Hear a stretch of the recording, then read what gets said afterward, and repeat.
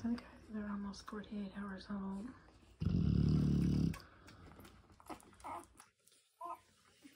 And her milk starting to come down, so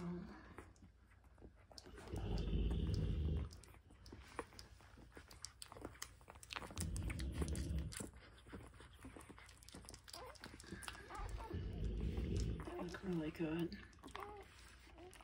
I couldn't make any better.